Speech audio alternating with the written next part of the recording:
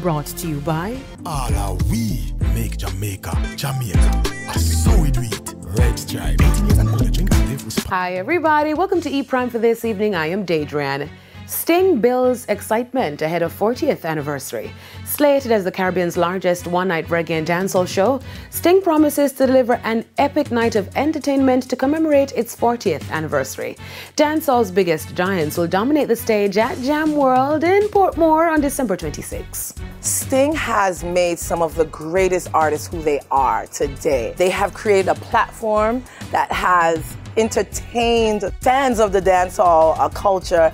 And like I said, they have created stars, and that is what makes Sting who they are. Adding that strategies will be put in place to ensure each artist is able to perform. Amazing stage management that's going to be happening this year, and everyone will be allotted their time, and they're really keeping a hold on how they're, you know, making sure that flow goes through, and artists understand the time that they have on the stage. So the stage management definitely has that under control this year.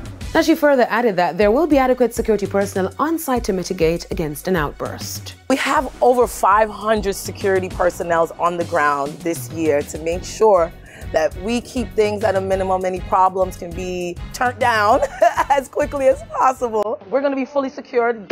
Now, Sean Paul's No Lie featuring Dua Lipa is Spotify's most streamed dancehall song for 2023. The song has hit a whopping 1 billion streams.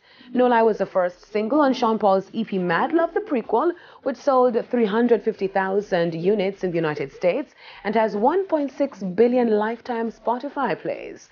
Now, the single was published in June 2018 and featured in Dua Lipa's RIAA Platinum album, Dua Lipa Complete Edition. No Lie peaked at number 184 on the Billboard Global 200 list and number 113 on the Billboard Global Exclusive US charts in the United States. Now, other top ranked albums include Spice's debut album 10, Popcaan's Great Is He, Fixtape, Egyptian's Julio, and Vybz Kartel's career defining album, Pon Di Gaza 2.0. Davido's single Unavailable is the most streamed Afrobeat song on Spotify for 2023, following Rema, Burna Boy, Ayra Starr, and Asake. His fourth studio album, Timeless, debuted at number 37 on the US Billboard 200 album start, selling 17,000 units in one week. This is the second highest charting debut for an Afrobeats album in history.